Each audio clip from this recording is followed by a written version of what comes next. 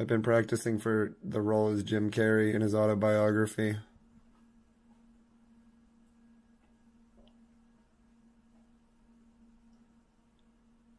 Well, I'm just kidding.